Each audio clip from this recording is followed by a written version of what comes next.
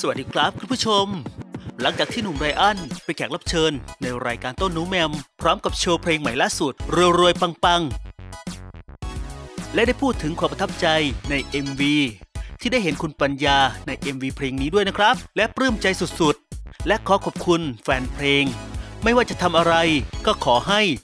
รวยๆปังๆ ด้วยเช่นกันนะครับ และยังเล่าเรื่องราว ที่สามารถซื้อบ้านเดี่ยวให้กับครอบครัวไรอันเผยความรู้สึกที่สามารถทำตามความฝันได้แล้ว และมาถึงจุดนี้ได้ เพราะคุณพ่อช่วยผลักดัน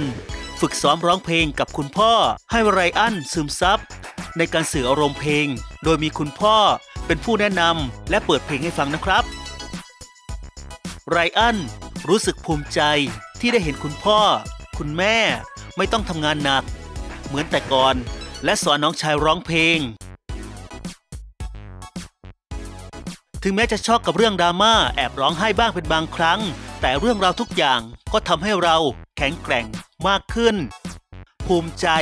ที่ช่วยแบ่งเบาภาระของครอบครัว ให้มีความเป็นอยู่สุขสบายมากกว่าเดิม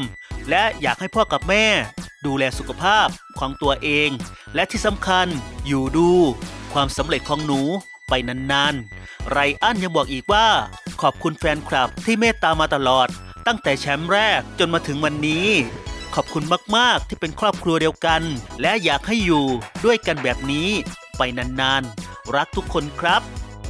และในโพสต์ล่าสุดของคุณพ่อของไรอันนะครับ ได้โพสต์ข้อความใน Facebook ด้วยว่า ดูโต้นหนูแหม่มวันนี้ น้ำตาไหลไม่รู้ตัวเลยเรา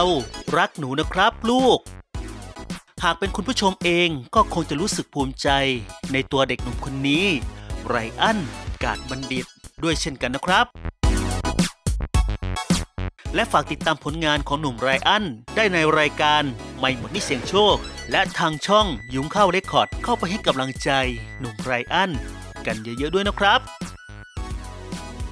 และนี่คือเรื่องราวบางส่วนของหนุ่มไรอันที่เป็นแขกรับเชิญในรายการโต้นหนูแหม่ม และให้สัมภาษณ์ในรายการล่าสุดนะครับ และคุณผู้ชมสามารถเข้าไปชมคลิปเต็มในรายการโต๊ะหนูแหม่มได้เลยนะครับ ในวันที่ 12 กันยายน ปี